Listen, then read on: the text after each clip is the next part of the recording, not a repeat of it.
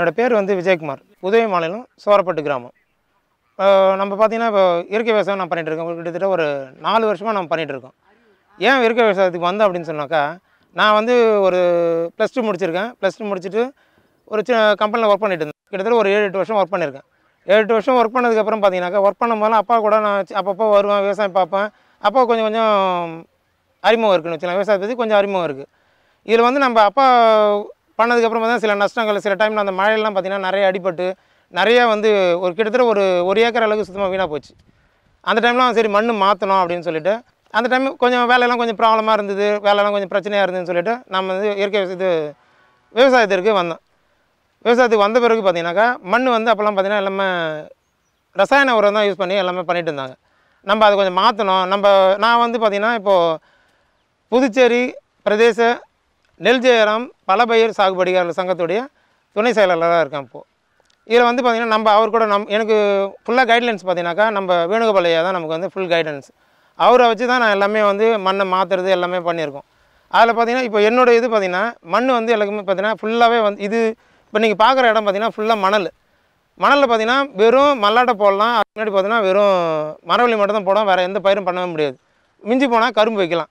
மற்ற பயிர் எதுவுமே பண்ண முடியாது. இதுக்கப்புறம் நான் இந்த ரெண்டாயிரத்தி பதினேழுக்கு அப்புறம் பார்த்தீங்கன்னா ஃபுல்லாகவே வந்து நான் நெல் நட்டுருக்கேன். அந்த மணலில் பார்த்தீங்கன்னா நெல் நட்டிருக்கேன். எப்படின்னா ஃபுல்லாக வந்து மண்ணை மாற்றிருக்கோம் ஃபஸ்ட்டு ஆரம்பத்தில் வந்து ஒரு இருபது வகையான பயிருங்களை வந்து விதைச்சி அறுபது நாளில் வந்து ஓட்டணும். ஓட்டினா அதனோட மண்ணோடைய தன்மை வந்து மாறி போகுது ஐம்பது வருஷத்தோடைய மண்ணோட தன்மை வந்து ஆட்டோமேட்டிக்காக மாறிடும் அப்படின்னு சொல்லிட்டு நம்ம ஐயா சொன்னது மூலயமா நான் வந்து மாற்றிருக்கேன் அதில்.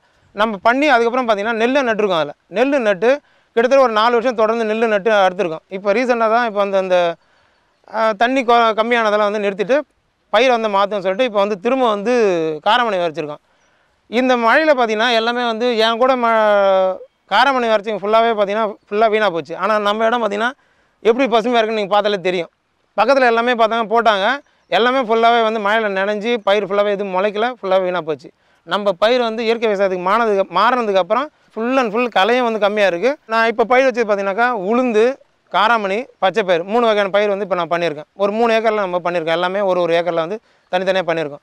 நீங்கள் எல்லாமே சுற்றி பார்த்தீங்கன்னா தெரியும். என்னோடய பயிர் எல்லாமே பக்கத்தில் இருக்கிற பயிரோட என்னோடய பயிர் வந்து டிஃப்ரென்ஸ் எல்லாமே தெரியும். எல்லாமே வந்து பக்கத்தில் எல்லாமே ரசாயன உரம் யூஸ் பண்ணி பண்ணியிருக்காங்க. இன்னும் இப்போ என்னோட இது பார்த்திங்கன்னா இது வரைக்கும் நான் ஒரு ஒரு சொட்டு தீனியும் போடல ரசாயன உரமும் யூஸ் பண்ணல மருந்து தெளிக்கல. என்னோடய வயல் சு என்னோடய வயல் சுற்றி பார்த்தீங்கன்னால நல்லாவே தெரியும். ஃபுல்லாக எல்லாம் டிஃப்ரென்ஸ் பக்கத்து ப வயலுக்கும் என்னுடைய வயலுக்கும் வந்து நல்ல டிஃப்ரென்ஸ் தெரியும். விதை நிறுத்தி பார்த்தீங்கன்னா இந்த தடவை நான் வந்து ம நம்ம ஐயா சொன்ன மாதிரி வேணுகோபால் ஐயா சொன்ன மாதிரி தக்காளி வந்து யூஸ் பண்ணி தக்காளி வந்து நல்லா நல்லா கசக்கி அதனை கையாலே கசக்கி அதனோட ஜூஸ் எடுத்து பத்து கிராம் அந்த ஜூஸ் இல்லை முப்பது கிராம் ஜூஸை மட்டும் எடுத்து அந்த விதை விதைக்கு தகுந்த மாதிரி கா நல்லா மேலே பூசிட்டு ஒரு பத்து நிமிஷம் இல்லை ஒரு அரை மணி நேரம் வந்து காய வச்சுட்டு அதுக்கப்புறம் எடுத்து போட்டிங்கனாக்கா அதனோட இது வந்து பூச்சி வந்து எதுவும் இது வரைக்கும் பார்த்திங்கன்னா என்னோடய கொள்ளில் வந்து பூச்சி அதிகமாக தாக்குதில்லை ஒன்றும் தெரியல. பூச்சி அதாவது எந்த விதமான அந்த புழு மற்றபடி இலை காயறது மற்றபடி வேறு எந்த பூச்சும் வந்து இது வரைக்கும் இறங்கல. மண் மண் மண் சார்ந்த பிரச்சனை இது வரைக்கும் எனக்கு வந்து வரல. பன்னோட பயிர் பார்த்தீங்கன்னா நல்லா தெளிவாகவே இருக்குது இது வரைக்கும். காராமணி பார்த்தீங்கன்னா ஒரு ஏக்கர் வந்து எட்டு கிலோ பயிர் இருந்தால் போதும். அந்த எட்டு கிலோ பயிரை வந்து விதை நிறுத்தி ஃபஸ்ட் நான் ஃபஸ்ட்டு பண்ணணும். விதை நிறுத்தி பார்த்தீங்கன்னா தக்காளி. தக்காளி வந்து எட்டு கிலோ ப விதைக்கு ஒரு எண்பது கிராம் தக்காளி சாறை வந்து மட்டும் எடுத்து அது மேலே நல்லா அப்படியே தெளித்து நல்லா காய வைக்கணும். ஒரு அரை மணி நேரம் ஆட்டோமேட்டிக்காக காய வச்சு எடுத்து நம்ம கல்டிவேட்டரில் உழவு உழவுக்கு முன்னாடி பார்த்தீங்கன்னா நம்ம விதைக்கிறதுக்கு முன்னாடி ஒரு ரெண்டு உழவு கண்டிப்பாக ஓட்டி ஆகணும். ஓட்டினா தான் அந்த களையெல்லாம் கொஞ்சம் கம்மியாக இருக்கும். அதுக்கப்புறம் பார்த்திங்கன்னா இந்த விதையை விதையை ப விதை நிறுத்தி பண்ணி தூவி விட்டுட்டு அதுக்கு முன்னாடி பார்த்தீங்கன்னா ஊட்டமேட்டிய தொழு உரம் வந்து நம்ம பண்ணணும். ஊட்டமேட்டிய தொழு உரம் நம்ம கண்டிப்பாக அது பண்ணோம்னாக்கா உ- செடியோடைய வளர்ச்சி பார்த்திங்கன்னா நல்லாவே இருக்கும். இது பார்த்திங்க இந்த நம்ம காராமணி உளுந்து இந்த பச்சை பயிரெலாம் பார்த்திங்கன்னா எல்லாமே வந்து ட்ரை ஏரியாக்கான முக்கியமான பயிர் இது எல்லாமே. ட்ரை ஏரியாவுக்கு நல்லா பண்ணலாம். இப்போ நான் இது வரைக்கும் பண்ணி பார்த்தீங்கன்னாக்கா இது வரைக்கும் தண்ணி பாசலை. தண்ணி பாசாமலே இருந்தாலே இதனுடைய பயிர் வந்து காற்றுல இருக்கிற நைட்ரஜன் மட்டும் எடுத்து ஆட்டோமேட்டிக்காக அது வந்து நல்லா வளர்ந்து வரும். ஒன்று இது பார்த்திங்கன்னா இப்போது பதினஞ்சு நாள் இல்லை இருபது நாள் ஒரு களை கொத்தணும். களை கொத்திட்டு அதுக்கப்புறம் ஒரு ஊட்டமடி தொடரும் தொழு உரம் கொஞ்சம் கொடுக்கணும். கலந்து போட்டு விட்டிங்கன்னா நல்லாவே வந்து அதனுடைய ஊட்டம் செடியினுடைய செடியோட வளர்ச்சி வந்தீங்கன்னா நல்லாவே இருக்கும். அதுக்கப்புறம் முப்பத்தஞ்சா நாள் இல்லை நாற்பது நாள். ஒரு களையை கொத்தி அதுக்கப்புறம் ஒரு உரம் ஊட்டமடி தொழு தான். அதையும் போட்டு விட்டிங்கன்னா வளர்ச்சி பூவுடைய இது எல்லாமே வந்து நல்லாவே வந்து வளர்ச்சி நல்லாவே இருக்கும். இதில் இடையில் பார்த்தீங்கன்னா தயிர் கரைசல் இல்லை மோர் கரைசல்னு சொல்லுவாங்க. மோர் கரைசல் கூட தேங்காயை ஒரு பத்து தேங்காயில் ஒரு அஞ்சு தேங்காயை துருவி அதை வந்து ஒரு தயிரில் போட்டு புளித்த வந்து புளித்த தயிரில் ஒரு அஞ்சு நாளைக்கு போட்டு வைக்கணும். போட்டு வச்சு அந்த த அந்த தண்ணி எடுத்துன்னு வந்து ஒரு பத்து லிட்டர் தண்ணிக்கு ஒரு பத்து கிராம் இல்லை இருபது கிராம் வந்து அந்த தயிரோடைய தயிர் கரைசல் எடுத்து கலந்து தெளிச்சு விட்டினா அந்த பூ வர டைம்லாம் தெளிச்சு விட்டினா பூவோடைய வளர்ச்சியும் காயோடைய இது வந்து பூ கொட்டவே கொட்டாது. வர பூவுக்கு வந்து எல்லாமே வந்து காயாக பிடிக்கும் காய் பிடிக்கும் ஒன்று காயோடைய வளர்ச்சி பார்த்தீங்கன்னா நல்லாவே இருக்கும். ஒரு காய் ஒரு பூ கூட கொட்டாது. ஃபுல்லாகவே எல்லாம் நல்லா வளர்ச்சி இருக்கும் இது ஒன்று மற்ற பயிருக்கு எல்லாமே ஜீவாமிரதம் வந்து நம்ம கரைச்சி விடுவோம். இதில் பார்த்தா ஜீவாமிரதம் பார்த்தீங்கன்னாக்கா கோமியம் மாட்டு கோமியம் சாணம் வெல்லம். இது மூணுத்தையும் கரைச்சி ஒரு மூணு நாளைக்கு நல்லா நல்லா கரைச்சி கரைச்சி நல்லா தொடி விட்டுட்டே வந்தோம் அப்படின்னாக்கா ஒரு மூணு நாள் கழிச்சு இல்லை ஒரு ஏழு நாள் கழிச்சு எடுத்து தண்ணியில் நம்ம தண்ணி பாசுகிற தண்ணியில் விட்டோம்னு வச்சுக்கலாம் அது வந்து நல்லா எங்கெங்கே த பயிர் போதோ எல்லா இடத்துக்கும் ஜஸ்ட் போனாலே போதும். நம்ம சின்ன ஒரு சின்ன பைப்பில் போட்டு தண்ணி ஊற்றுறதுல விட்டாலே போதும். அது என்ன பண்ணுதுன்னா மண்ணுக்குள்ளே போயிட்டு இருக்கிற நுண்ணுயிரை வந்து மேலே கொண்டு வருது. மேலே கொண்டு வருது பண் மண் வந்து நல்லா பூத்து கொடுக்கும்.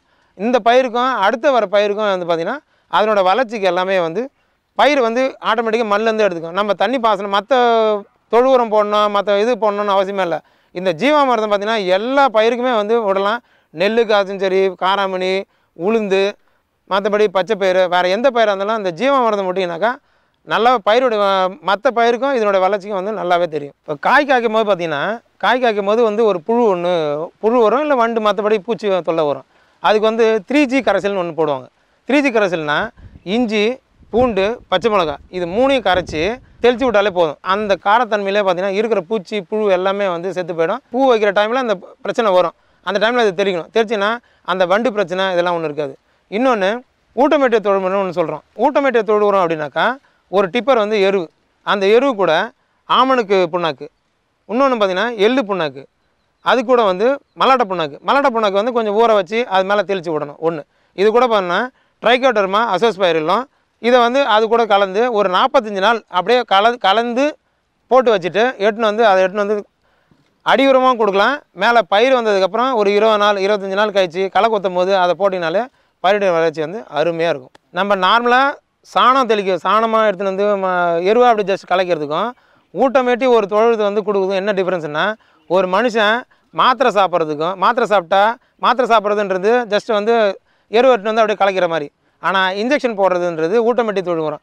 எல்லாம் ரெடி பண்ணி ஜஸ்ட் அப்படியே இன்ஜெக்ஷன் மூலிமா கொடுக்குறது தான் வந்து ஊட்டமட்டியை தொழு உரம். இதான் இதுக்கு ரெண்டுக்கும் நல்ல டிஃப்ரென்ஸ் இதை பண்ணோம் அப்படின்னா நல்ல டிஃப்ரென்ஸ் வந்து நமக்கு நல்லாவே தெரியும். ஒன்று நம்ம அறுவடை முறை பார்த்திங்கன்னா ஒன்று வந்து நம்ம நம் நம்மளோட வந்து நுனி வந்து நாட்டுக்கும் நடு வந்து மாட்டுக்கு அடி வந்து நிலத்துக்கு அப்படின்னு சொல்லி சொல்லுவாங்க. இப்போ அந்த காரவனையை பொறுத்த வரைக்கும் நம்ம அடி அப்படி ஜஸ்ட் வேரோட பிடுங்காமல் அறுத்து எடுத்து கீழே வேரை மட்டும் வேர் முடிச்சியில் வந்து மண்ணில் விட்டோன்னா அதில் இருக்கிற நைட்ரஜன் சக்தி வந்து மண்ணுக்கு வந்து அவ்வளோவும் வந்து உரம். ஒன்று மற்றபடி இதை எடுத்துன்னு போயிட்டு நம்ம அடித்து எடுத்துன்னு வந்து மாடுங்களுக்கு போட்டோம்னா மாடுகளுக்கும் வந்து நல்ல சத்து. காராமணியும் இல்லை உளுந்தோ சரி ரெண்டுமே சரி இல்லை பச்சை சேர்த்து. சரி நம்ம அறுக்கும் போது பார்த்திங்கன்னா அறுத்து ஒரு நாலு இல்லை அஞ்சு நாள் வந்து பார்த்திங்கன்னா கொல்லியிலே போட்டுரும். கொல்லியில் போட்டு நல்லா காஞ்சிடும் நல்லா காஞ்ச பிறகு எடுத்துன்னு போய் ரோட்டில் போட்டு அடித்து பயிராக்கி எடுத்துன்னு வந்து நம்ம கமிட்டியில் போகிறது தான். இதான் நம்ம மெயினாக பண்ணுறோம் இது பண்ணாலே நமக்கு இதான் சிம்பிளஸ்ட் செலவு இல்லாத ரொம்ப கம்மியாக பண்ணுறது இதான் நம்ம பண்ண பண்ணலாம். இயற்கை விவசாயத்துக்கு ஏன் மாறணும் அப்படின்னு சொன்னாக்கா ரசாயன விவ- விவசாயத்திற்கும் இயற்கை விவசாயத்துக்கும் ஏன் மாறி வரணும் அப்படின்னு கேட்டாக்கா நம்ம வந்து ஜஸ்ட்டு வந்து நம்ம இயற்கை விவசாய சாதா செயற்கை விவசாயம் அதாவது வந்து ரசாயன விவசாயம் பண்ணும்போது நான் பார்த்தீங்கன்னா ஒரு ஏக்கருக்கு வந்து முப்பத்தஞ்சு மூட்டை நெல் வந்து நெல் நெல் அறுத்தேன். அதுக்கு முன்னாடி. இப்போ நம்ம வந்து ஃபஸ்ட்டு நம்ம வந்து மொதல் மொதல் பார்த்தீங்கன்னா என்னோடய நிலத்தில் வந்து இயற்கை விவசாயம் பண்ணும்போது ஒரு இருபது மூட்டை இருபத்தஞ்சி மூட்டை தான் நமக்கு கிடச்சிது ஆரம்பத்தில். ஆனால் அதுக்கப்புறம் அதனுடைய மண்ணுடைய சேஞ்சஸ் மாற மாற மாற பார்த்தீங்கன்னா அதனோட வளர்ச்சி எல்லாமே வந்து வீல்டு வந்து நல்லா மாறுது. ஆனால் கொஞ்சம் வெயிட் பண்ணணும். எல்லாமே நம்ம ஆளுங்க என்ன பண்ணுறாங்கன்னா ஒரு வருஷம் இல்லை ஒரு ரெண்டு போகம் பயிர் வைக்கிறாங்க. பயிர் வச்சோடனே ஐயோ இயற்கை விவசாயமாக ஒன்றுமே கிடைக்கல ஒன்றுமே கிடைக்கல அதுக்கு ஏன் நம்ம பண்ண முடியாதுன்ற மாதிரி நம்ம ஆளுங்க சொல்கிறாங்க அந்த மாதிரி பண்ணாமல் நம்ம ஆனால் வெயிட் பண்ணி ஒரு வருஷம் இல்லை ரெண்டு வருஷம் வெயிட் பண்ணாக்கா ஆட்டோமேட்டிக்காக அதோட மண்ணோட தன்மை மாறுச்சுனாக்கா அடுத்து நம்ம வர பயிர் எல்லாமே வந்து நல்ல ஈல்டு கிடைக்கும். எல்லாருமே வந்து இயற்கை விவசாயத்தை மாறி வந்து அப்படின்னாக்கா நம்மளோட உணவு நம்மளோட உடம்பு அடுத்து வர ஜென்ரேஷனுக்கும் வந்து ரொம்ப நல்லா இருக்கும் சா எல்லாருக்குடைய உடம்பு வந்து நல்லா இருக்கும் வணக்கம் நன்றி.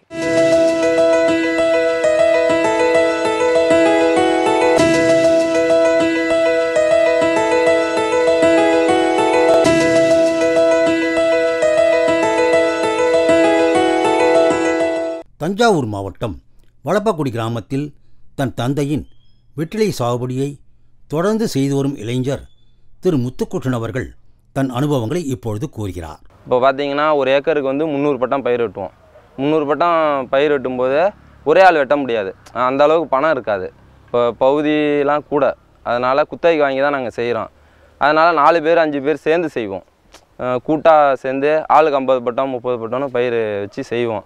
நாங்கள் ஃபஸ்ட்டு கோடி கிழித்து அதுக்கப்புறம் அடி வெட்டு வெட்டுவோம். அடி வெட்டுனா ஃபஸ்ட்டு விதை போகிறதுக்கு முன்னாடி அடி வெட்டுலாம் வெட்டி பக்குவப்படுத்தி வச்சுருப்போம். பக்குவப்படுத்தி வச்சுட்டு அடுத்து எல்லாரும் சேர்ந்து ஒரு நாள் சாமி கும்பிட்டு விதை போடுவோம். முருங்கை விதை அகத்தி விதை செம்மை விதை எல்லாம் போட்டு பயிர் இறச்சிடுவோம் இறச்சிட்டு அதுக்கப்புறம் அதுலேருந்து ஒரு முப்பது நாள் கழித்து இதுக்கு முன்னாடி இருக்கிற பயிரில் கொடியை இருப்போம் ஒரு கட்டு கொடியை வந்து பார்த்திங்கன்னா முந்நூறுரூவாயிலேருந்து முந்நூற்றம்பது ரூபாயிலையும் வரும். அப்போ உள்ள இதை பார்த்து கொடுப்பாங்க. நாங்கள் அதை வாங்கிட்டு வந்து அது ஒரு கட்டு புதைக்க வந்து அஞ்சு கட்டுக்கு ஒரு ஆள். அஞ்சு கட்டு புதைப்பாங்க ஒரு ஆள். அறுத்து புதைக்கிறதுக்கு. அதுமாரி நானூறுரூவா சம்பளம் வரும். ஒரு ஆள் ஒன்று நானூறுரூவா சம்பளம் வரும். நாலு ஆள் அஞ்சு ஆள் விட்டு புதைச்சிக்குவோம். புதைச்சி அதுலேருந்து ஒரு முப்பது நாள்லேருந்து நாற்பத்தஞ்சு நாளுக்குள்ளே தூக்கி கட்டிடுவோம். அது சின்ன கட்டையாக இருக்கும்போதே தூக்கி கட்டிடுவோம். கட்டினதுக்கப்புறம் பார்த்தீங்கன்னா கொடி ஊக்கமாக வரும். வெளிச்சம் கொடுத்ததுக்கப்புறம் அடியிலேருந்து நல்லா ஊக்கமாக வரும். அப்படி வரும்போது பார்த்திங்கன்னா அப்போவே கொஞ்சம் எருவு போடுவாங்க. பக்குவப்படுத்தி எருவு போட்டோம்னா இன்னும் கொஞ்சம் நல்லா வெத்தலை நல்லா ஊக்கமாக வரும். அந்த முருங்கை அகத்தி செம்மை இதெல்லாம் எதுக்கு வைக்கிறோன்னா அரை நிழல் வந்து வெத்தலைக்கு இருந்துக்கிட்டு இருக்கணும். கொடிக்கு வந்து அரை நிழல் இருந்தால் தான் அது வந்து பக்குவமாக வரும். ரொம்ப வெயில் அடித்தா கொடி காஞ்சி போயிடும். அதனால் அரை நிழல் இருக்கணும். அதுக்கு நாங்கள் என்ன செய்வோம்னா அதில் இருக்க தலையை வந்து லிமிட்டாக குறைச்சிக்கிட்டே வருவோம். ஒரு பக்குவமான ஒரு இதில் வச்சு கழிச்சிக்கிட்டே வருவோம். பார்த்தீங்கன்னா இப்போ வந்து வெயில் காலத்தில் வந்து ரெண்டு நாளைக்கு ஒரு வாட்டி தண்ணி அரைச்சிக்கிட்டே இருப்போம். இப்போ மழை காலத்தில் வந்து இறக்க வேண்டியது கிடையாது.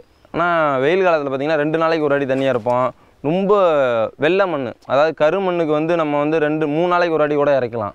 வெள்ளை மண்ணுக்கு அப்படி பண்ண முடியாது. ஒன்று விட்டு ஒரு நாளைக்கெல்லாம் இறக்கிற மாதிரி சூழ்நிலை வரும். வெயில் அதிகமாகிடுச்சுன்னா ஒன்று விட்டு ஒரு நாளைக்கு நாங்கள் இறச்சிக்கிட்டு இருப்போம். அதை இல்லாமல் பயிரை வந்து இழுத்து வைப்போம். அதாவது ஃபஸ்ட்டு கணு வைக்கிறோம்ல அது நேராக போனோன்னே மறுபடியும் இழுத்து மடக்கி வச்சோம்னா அது வந்து நல்லா கீழேருந்து இன்னும் ரெண்டு வெடி வரும். ஒரு கிளை சைடில் வெடித்து வரும். அதில் எந்த கொடி ஆகுமோ நல்ல கொடியை மட்டும் கட்டி விட்டுட்டு மீதி சென்னாரி கொடின்பாங்க. இப்போ இந்த மாதிரி ரொம்ப கலராக இருக்கும் சிகப்பாக இருக்கும். இது வந்து வெத்தலை ஊக்கமாக வராது அகலமாக வராது. அப்போ வந்து இந்த மாதிரி கொடியை அறுத்து எரிஞ்சிருவோம் இப்போ நாங்கள் அறுத்து எரிஞ்சிட்டு நல்லா ஊக்கமான கொடியை கட்டி விட்ருவோம் கட்டி விட்டோம்னா அதில் வந்து வெத்தலை வந்து மூணு விதமாக கிள்ளுவோம் நாங்கள் பார்த்தீங்கன்னா ஆக்கரா வெத்தலை கிள்ளுவோம். அது வந்து ஆந்திரா இந்த மாதிரி லைன் பீடாவுக்கு போகிற வெத்தலை அது. மட்டையாக இருக்கும். அந்த வெத்தலை கிள்ளி அமுச்சு விடுவோம். அதில் வந்து மாறு வெத்தலை தனியாக கிள்ளுவோம். அது வந்து பார்த்திங்கன்னா இப்போ ஈரோடு கரூர் அந்த லைனு ஃபுல்லாக மாரத்தில் தான் போடுவாங்க. இப்போ கொடி வெத்தலை எல்லாம் கலந்து கிள்ளுவோம். அது வந்து தஞ்சாவூர் மாவட்டம் ஃபுல்லாக போகும். தஞ்சனா மாவட்டம் இந்த ஏரியா ஃபுல்லும் அரியலூர் ஃபுல்லாக சப்ளை பண்ணுவோம். வெத்தலை கட்டும்போது வந்து பக்குவமான டயத்தில் கட்டுவோம். எப்படின்னா மாறுவத்தில் வந்து பத்து நாளைக்கு பாஞ்சு நாளைக்கு ஒரு அடி கிள்ளலாம் மாரத்தில். கொடியத்தில் வந்து இருபத்தஞ்சி நாளைக்கு ஒரு அடி தான் கிள்ள முடியும். நம்ம அதனால் வந்து ரெண்டுமே ஈவன் பார்த்து கிள்ளிக்குவோம் நாங்கள் கிள்ளி திருச்சி சந்தையில் கொடுப்போம். திருச்சியில் கொடுக்கும்போது உடனே காசு வரும். இப்போ இங்கே வந்து பார்த்திங்கன்னா மன்னார்குடி திருத்துறைப்பூண்டி அரியலூர் வந்து முட்டி கட்டி போடுவோம். இருபத்தஞ்சி கவுளி இருபத்தஞ்சி கவுளியாக கட்டி போடுவோம் நாங்கள் அப்படி கட்டி போடும்போது முட்டிக்கு ஆயிரத்தி ஐநூறுரூவா ஆயிரரூபாவும் வரும். கல்யாண தேதியாக இருந்து பார்த்தீங்கன்னா வந்து ஆயிரத்தி ஐநூறுரூவா வரும். இருபத்தஞ்சி கவுளிக்கு ஆயிரத்தி ஐநூறுரூவா கொடுப்பாங்க. அப்படி கொடுப்பாங்க. அப்புறம் திருச்சி போகிறது வந்து பார்த்திங்கன்னா நூறு கவுளி ஒரே இதாக கட்டுவோம் நாங்கள் நூறு கவுளியை கட்டி திருச்சி அமுச்சு விடுவோம். திருச்சி அமுச்சு விடும்போது பார்த்திங்கன்னா ஒவ்வொரு நாளைக்கு ஒவ்வொரு ரேட் இருக்கும். ஒரு நாளைக்கு வந்து கவுளி இருபத்தஞ்சி ரூபா போவோம் ஒவ்வொரு நாளைக்கு பதினஞ்சு ரூபாய்க்கும் போவோம் ஓ அதே கவுளி வந்து அறுபது ரூபா எழுபது ரூபாய்க்கும் போவோம் எழுபது ரூபாய்க்கும் போவோம் இதே தேர் திருவிழா விசேஷ நாளில் பார்த்தீங்கன்னா நூற்றம்பது ரூபா நூறுரூவா வரையும் கவுளி விற்கும் அந்த மாதிரி சுச்சுவேஷனும் இருக்குது ஆனால் பத்து ரூபாய்க்கும் கம்மியாக இது வரையும் விற்றது கிடையாது. ஆனால் நல்லா ஒரு சிறப்பான விவசாயம்னு வச்சுக்கோங்களேன். இதனால வந்து கிட்டத்தட்ட இங்கே வந்து ஒரு மூவாயிரம் பேர் இப்போ எங்கள் ஊரில் மட்டும் பார்த்தீங்கன்னா ஒரு மூவாயிரம் பேர் இந்த விவசாயம் பண்ணிகிட்டு இருக்கோம். இந்த வருஷத்தில் மட்டும் ஒரு ஐம்பது ஏக்கர் விவசாயம் பண்ணியிருக்கோம். எல்லாருமே இப்போ புதுசாகவும் நிறையா பேர் தொழிலுக்கு வராங்க. இது ரெகுலராக இதே வந்து நல்லா ஓரளவுக்கு ஸ்டாண்டர்டாக இருக்கிறவங்க என்ன பண்ணுவாங்கன்னா இரநூறு பட்டம் முந்நூறு பட்டம் பயிர் வச்சுருப்பாங்க. ஒரு பட்டத்துக்கு பார்த்தீங்கன்னா நீங்கள் விதை போட்டு ஆரம்பித்த உடனே நானூறுரூவா செலவு வந்துடும் அதுக்கப்புறம் ஒரு கட்டு கொடி முந்நூற்றம்பது ரூபா ஆள் கூலி இருக்குது இதெல்லாம் தாங்கணும்.